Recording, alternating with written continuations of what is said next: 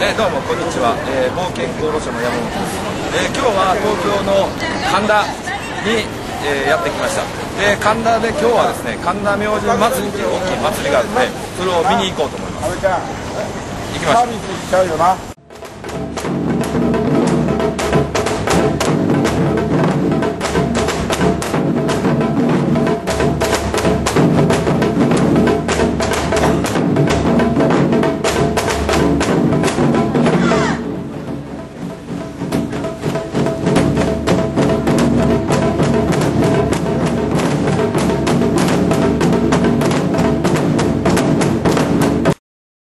あえずまあ今日はこういう祭りをやってて。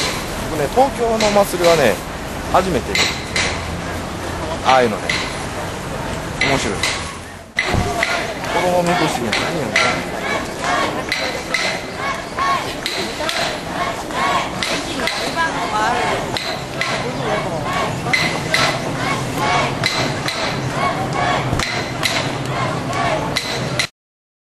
こう神田明神っていうのは何でもこう1300年ぐらいの歴史があってな何つったっけな。江戸江戸江戸時代ではなんか将軍家とかもこうすごいこう関わりのあったあのところらしくてまあ1300年やからねかなり歴史は古いと思うんやけど。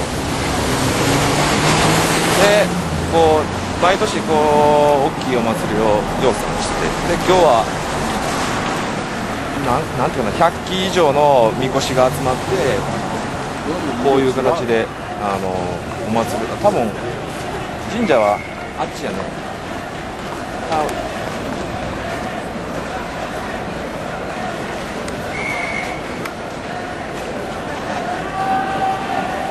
神田のいろんな町のこういうなんていうかな青年会とかが集まってあの毎年そのために頑張ってやってるらしい。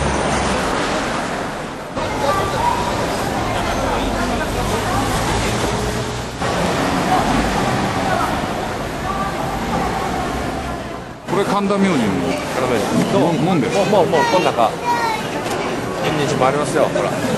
祭りといえばやっぱ縁日でしょ。たこ焼きが定番ですか？青焼きそらうどんね。青焼きお好み焼きえーます